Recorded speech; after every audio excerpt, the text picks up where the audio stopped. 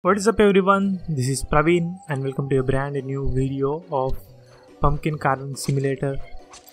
I'll leave the game's link in the description so if you want to play the game you can go check the description and you can play the game.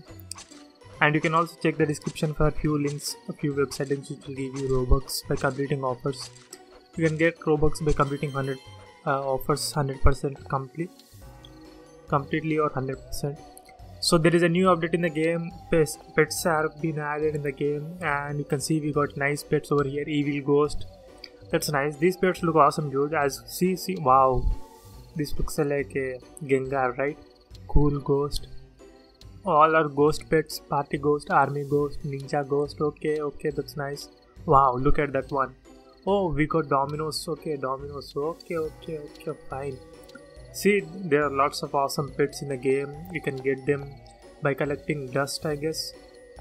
And I'm going to show you a new code for the update. Uh, pets is the new code which will give you 100 coins, 100 candy, I guess.